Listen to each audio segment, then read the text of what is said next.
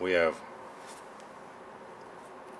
one foot, one and three eighths inches that we need to divide in two. Well, the one foot also equals 12 inches. And dividing that in half equals 6 inches.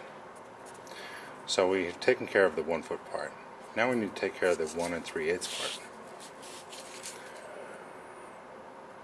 1 and 3 eighths. How many eighths in the 1? Well, there would be 8 eighths. 8 over 8 over 8. That would be 8 eighths in the 1. So now we have to add 3 eighths to the 8 eighths. 3 eighths to the 8 eighths. We simply add straight across. 8 and 3 is 11. And the bottom doesn't change. So 1 and 3 eighths equals 11 eighths. We can't really divide that in half because we can't have, well what's half of 11? That would be 5 and a half. We can't have 5 and a half eighths. So we have to raise this number higher to a number we can work with. So let's multiply both numbers by 2 and see what we get. That's going to equal 22 over 2 times 8, 16.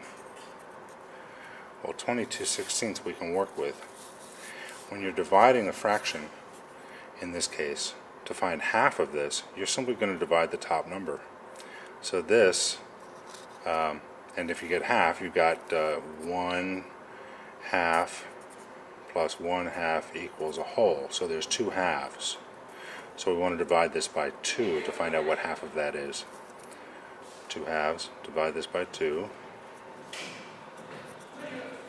equals 11. And the bottom stays the same.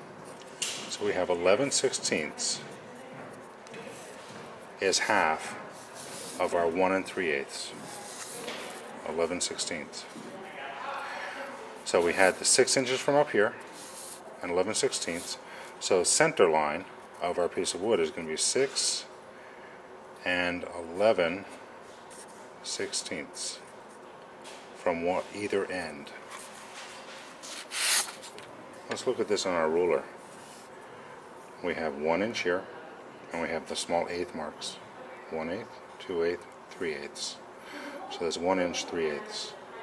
Well, if we start over here and count, we go 1, 2, 3, 4, 5, 6, 7, 8 eighths, 9 eighths, ten eleven eighths, the entire distance. When I start out teaching fractions with a ruler, we can just count all the eighth marks, and we have 11 eighths.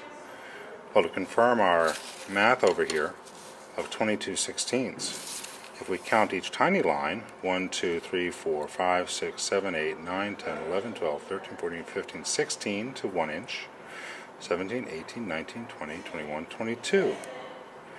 And dividing 22 and a half into half, 22 in half, is 11. 1, 2, 3, 4, 5, 6, 7, 8, 9, 10, 11. So we would end up here. And to confirm, 1, 2, 3, 4, 5, 6, 7, 8, 9, 10, 11 to the end.